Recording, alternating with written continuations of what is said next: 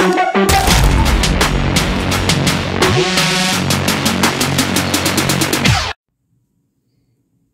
guys, uh, welcome to the channel. We're shooting from the fortified castle here today, and um, this is uh, the fifth part of how to date knives. And today we're going to be looking how at how construction can help you to um, date a knife. And um, if you'll uh, remember, I I uh, told you that I would bring this uh, all together for you in the last video, I gave a short clip of how to, um, um, that process you go through for dating knives. And before we get into construction, I'm going to uh, show you today on uh, a little, little more detail on how you, the process goes for dating those knives. And um, if you look at this knife right here, it is a single, uh, uh a swell center Barehead uh, penknife. And uh, remember, uh, we talked when we were talking about patterns. I said if it's unusual, that usually indicates an earlier date. And um, this is kind of unusual. Uh, I researched this and I found um, Case made a Barehead um, swell center Barehead, but that was a jackknife. And Walden made a uh, Barehead uh, swell center penknife for uh, E.C. Simmons. So this is uh, definitely unusual and would indicate 18th uh, century origin. And so um, when we open it up, uh, we can see there the tang stamp, H and S. And if you notice the font on that, it's a serif font, that kind of old looking kind of font. And um, we uh, talked about in markings that, that that's an indicator of 1800s. So you'll see that probably all the way up to 1920, but it's a really good indicator of a knife from the 18th century. So we already have two indications that this knife is from the 1800s. Um, when I looked this up, there's no listing and Goins for it. I looked in other, other references. I couldn't find it. And so um, um, that brings us back to square one, and we're going to have to look uh, further to try to figure out the story on this knife. And um, so the best way to do that, we talked about in patterns, is that a pattern oftentimes can give you a good indication on uh, the age of a knife. So if we open this up and look at the pattern on this knife, what stands out is that both these blades are equal. And so if you run a straight edge across there, they're pretty equal. And um, what this knife is, is a uh, quill knife. And so um, quill knives are pen knives that have equal blades. Usually they're a Copeland blade or maybe a, a sheep's foot. Um, in this case, they're spear point um, blades. Kind of unusual, but uh, it's still a, a uh, quill knife. And that's lucky for us because uh, it allows us to really uh, hone in and date this knife uh, without the tang stamp. And so um, uh, quill knives first started out as uh, fixed blades and then um, in the 1700s they turned into uh, folding blades, single blade folding knife. And then after that, in the late 1700s, they went to uh, two blades. And um, these were the first multi-blade knives right here. And um, all multi-blades came off of this uh, quill type design here. Um, so these were uh, popular up until 1830. Uh, that was kind of the zenith of quill knives. And in, um, in 1790, uh, um, they invented the uh, steel quill or pen. This is a pen. And in 1828, they were uh, starting to be mass produced in England, steel tipped uh, quills. And so, uh, obviously, you don't need a uh, something to sharpen them if you have steel tips. So, uh, by 1850, this knife was being less and less produced. And uh, Levine says that by uh, the late 1800s, they were virtually non existent.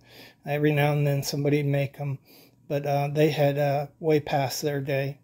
And so that gives us a good date for this knife of 1850 to 1800, I would say. And um, if you look at this, um, it's a natural bone.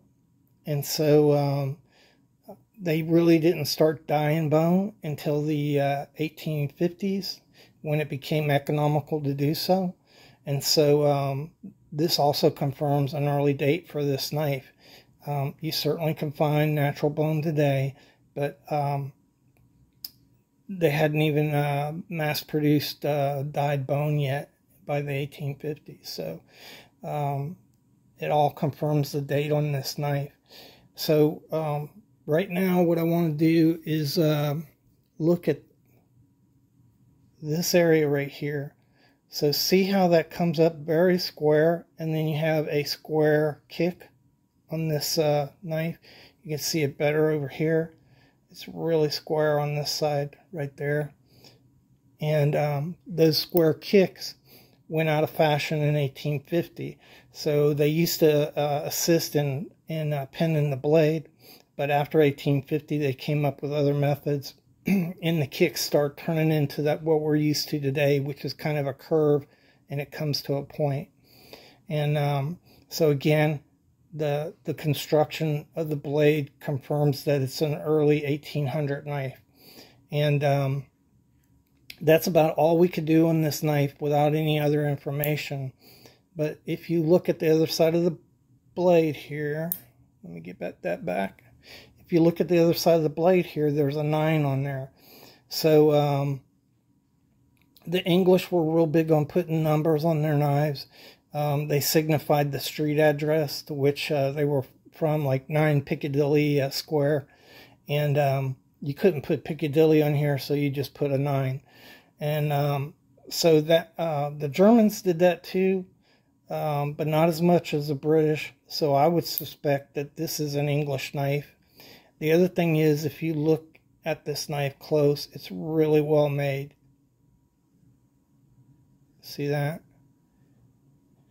Um, you notice that the pins are not um, very well formed, um, but they're they're they're done okay and they're all smooth like they should be across the surface.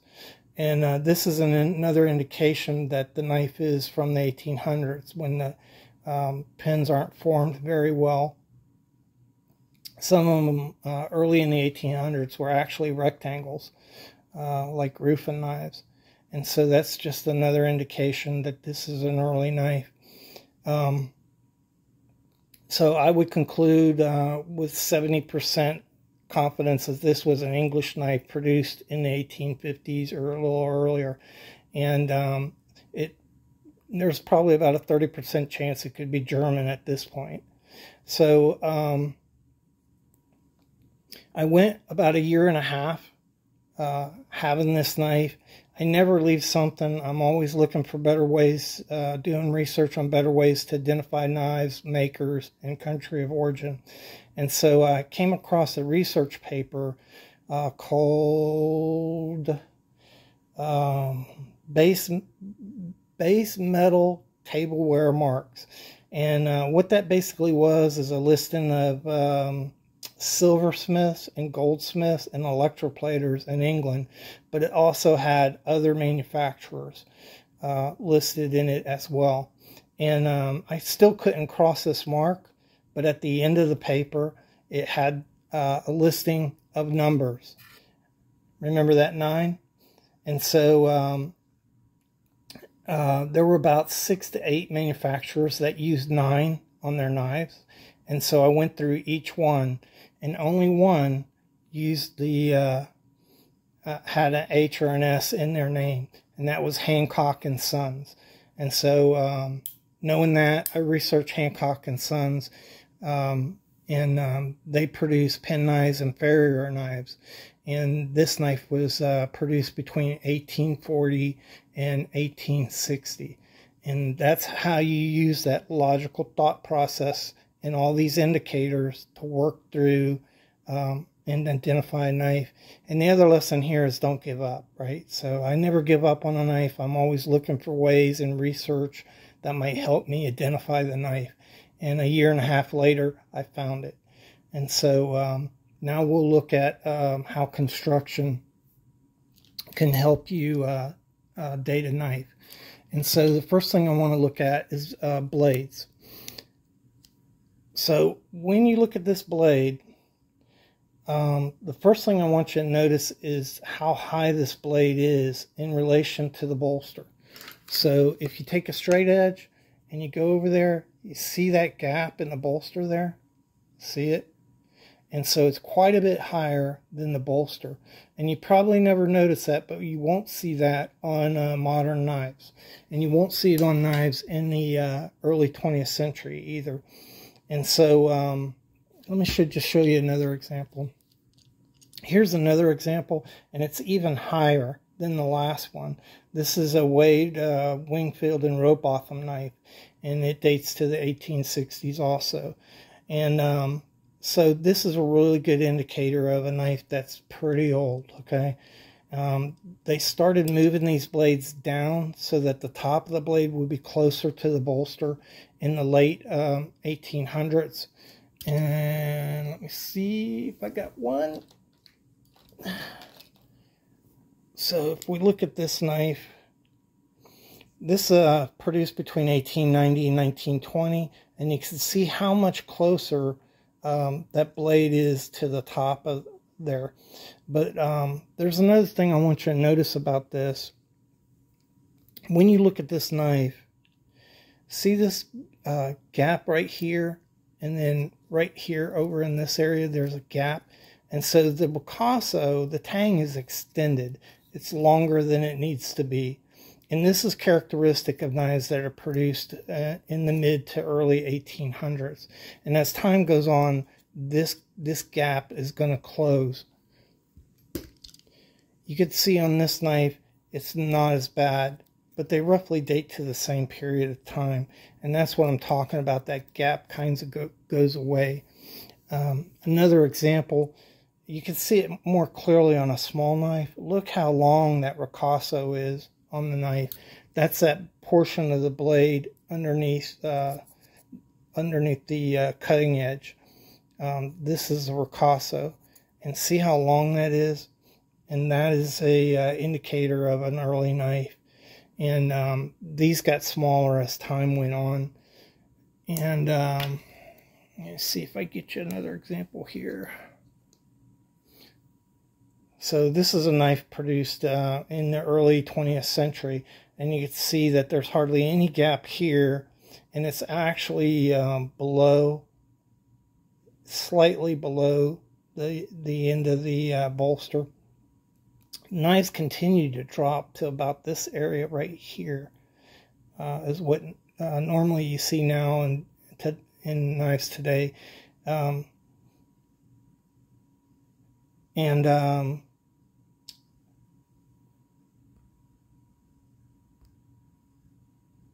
Okay, sorry, I had a call there, so the uh, recording stopped. All right, guys, sorry about that. I had to answer a call from my uh, daughter.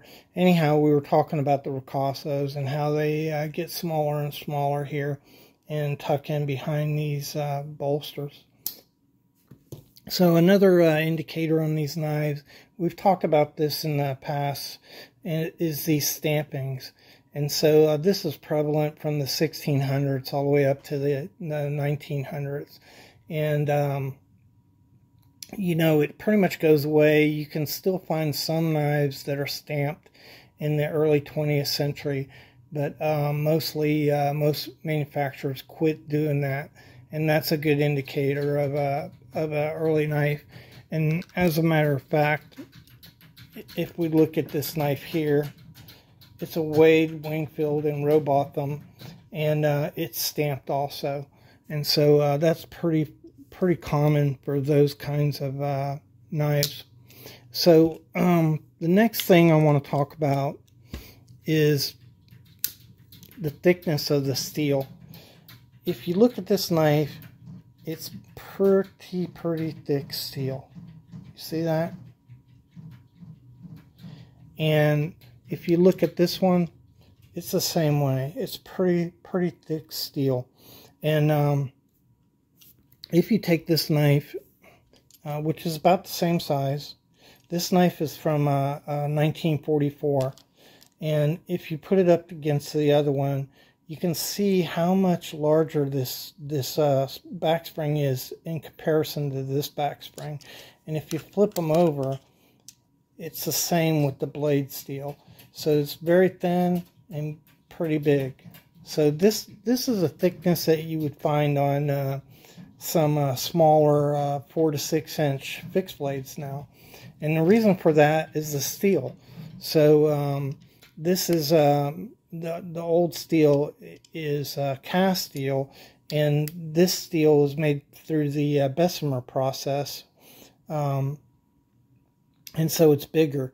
And um, starting in the uh, 20th century, you have uh, electric arc uh, steel, and so the higher temperatures allow uh, um, you to produce a steel that's more pure and that equals strength. And so these steels, even though cast steel was stronger than shear steel, it's still not as strong as modern day steels, and they had to be thicker.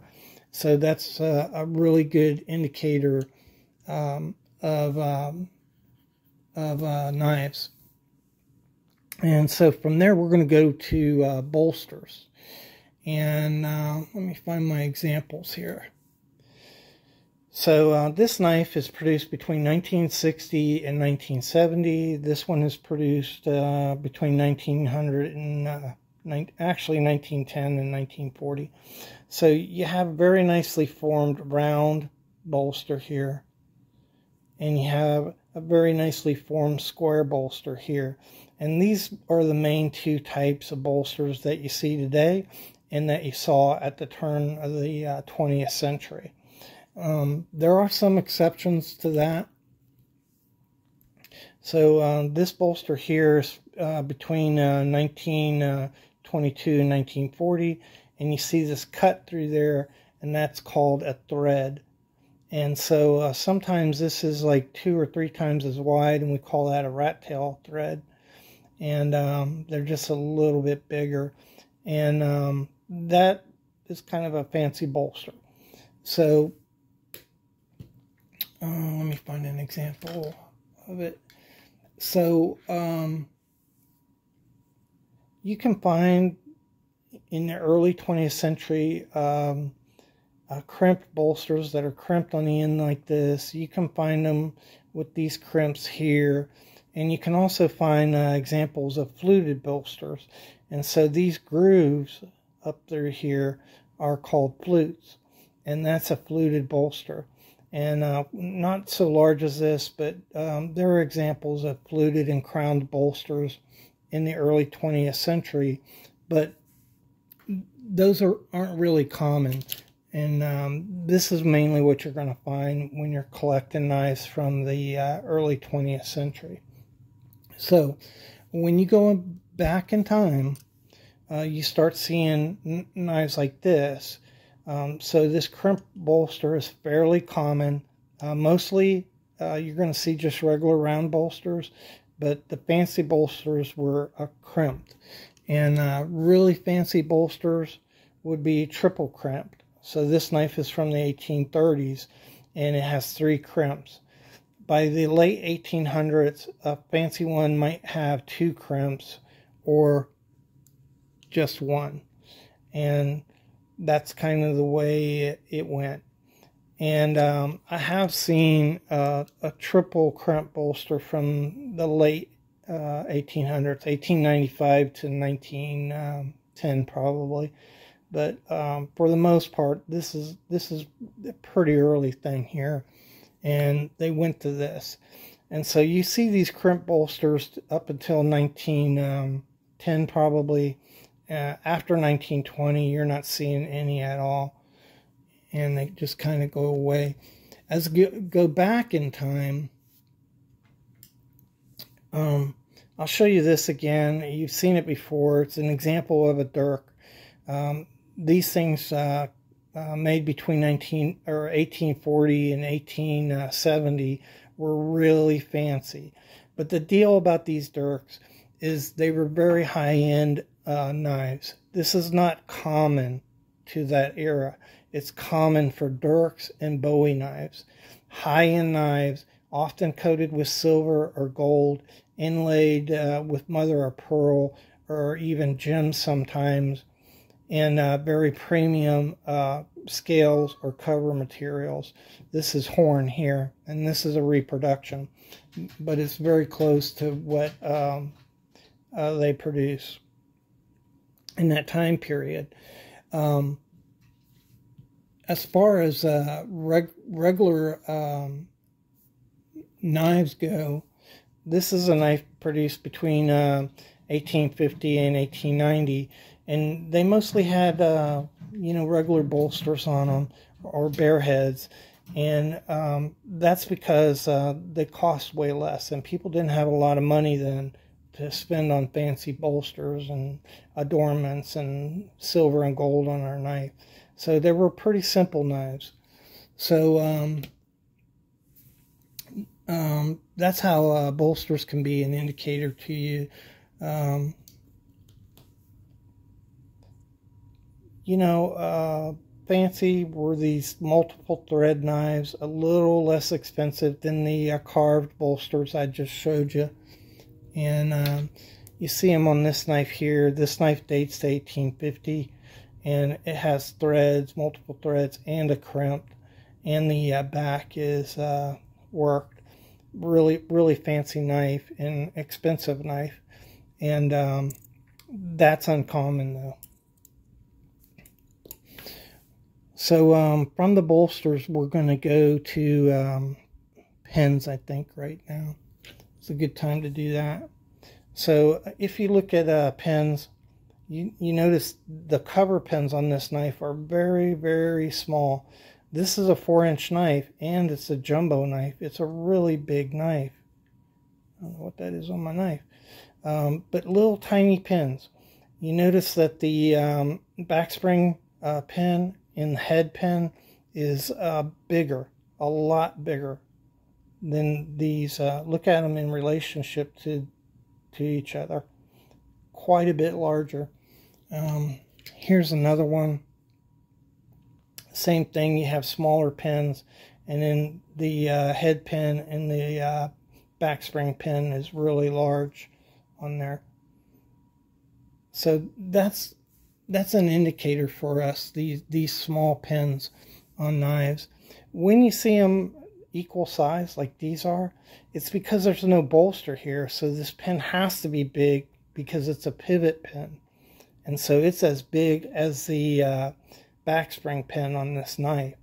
But um, when there's bolsters on the knife, they're going to be a lot, a lot smaller than the other pins. This is a Utica serpentine knife here. Um, early one, you know, around 1920 uh, or so. And little tiny pins in comparison to the, the one here. And uh, what they evolved to is if you look at this knife, um, the cover pins are now, look at the two, difference between the two. The cover pin's about uh, uh, two thirds the size of the uh, backspring pin. They're getting bigger. And um, you see that on this knife too. This is, uh, I think this is a Utica too. Um, but you can tell that they're about um, two thirds the size of this pin right here. They're not little tiny pins anymore. And eventually, when they get to the uh, 60s and 70s, they're almost equal size and in a lot of cases, they are exactly equal, uh, the pins. They just get bigger and bigger and um, to be the same size as the backspring pin. So um, pins are a good indicator um, of an early knife. Uh, another thing about pins, mm, let me find a good example for you here. If you look at these pins, they're really well formed. See that? Almost completely circular. And um, show you this. See how perfect those pins are in the early 20th century? So uh, when you go back in time, um, what you see is this is this is one of the reasons I think this knife it could date to 1920, but I think it's more like 1890, 95. Look how irregular those pins are. And this is a Westinghouse, a very fine knife manufacturer. And so you see those pins. They're not as regular as the uh, 20th century pins. Um, this is a knife that dates to 1830, um, and it's almost, this pin is almost a, a uh, rectangle. That one's pretty good. And this one's not bad, but they're irregular. They're not completely round. This one's not too good. You can see that one is kind of round and kind of chopped up. This one's oblong. And so, um, you know, this is 1830, 1890, a little better. And then 20th century, better yet. And then as you go forward, they're almost perfect nowadays, the pins that they put in uh, knives.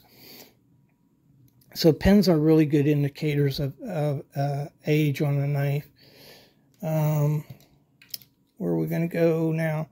So let's look at scales now. Um, this is a modern buck knife. And um, I'm going to open it up.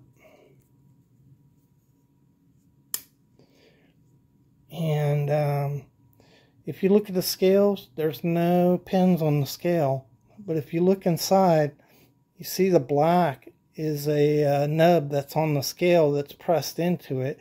And then the silver uh, indentations are where the liner is pressed up into the uh, into the scale. So basically, these are the liner and the scales pressed together. And I don't know whether they use glue on this, honestly, or not. But, um, you know, that's a new technology, and you won't see that on older knives. Um, in the in the 80s and 90s, um, a lot of manufacturers were just gluing these on, and that's not very good, right? So that's that's your postmodern uh, um, construction. This knife, produced between 1960 and 1970, is penned as it should be. And uh, but it's uh, you know the scales are plastic on this knife. You go back in time and um, you know that they're just penned right. The next thing you look at um, is um, let's look at let's look at uh, shields so this shield here is glued in and if you open this knife up and you look on the inside, like we can see the pins for this, you don't see any pin for that. And that's how you know that it's glued. This starts cropping up in the 70s. So from uh, in 1980, it's like full blown. They're just gluing all of these things in and saving man hours and time and material on penning them. But traditionally, they were penned. And that's what you see as you go back in time. Another thing about um, um, scales or shields is in the turn of the uh, 20th century, uh, say from 1900 up to 1940, there's a proliferation of different um, shields. Um, this is a GIMP shield. You have your standard uh, um, bar shield. There were polygonal shields. Um, this one is a uh, propeller shield, so it's kind of round in the middle and looks like a propeller. And um, just all kinds of different shields. Um, bomb shield. But when you get back into the 1880s, uh, before like uh, 1890, it, it's a lot simpler.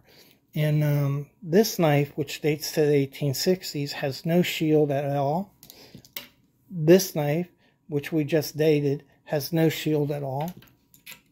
This knife, which actually I think is earlier than the middle of the 1800s, has no shield at all. And so when they did have shields, they were a lot simpler in the 1800s. So a simple bar shield like this, a simple shield like that, that's really a shield. And let me see if I can find one. Wow. I don't even think I have an example of one. Here's one. So that's a shield, and this is a federal shield what they look like. The federal shields had these little things on top. Um, but they're just simple shields. And um, this dates to the 1890s and it's got an oval on it. And so the shields, if they had them on there, were much simpler in the 1800s. And uh, towards the end, you start seeing the big elaborate shields after 1890. Um, sometimes you see them like this big on a knife that's really like 1890 to 1910 when they were doing that extravagant shields, really big shields on uh, knives. Uh, what else do we have to cover here?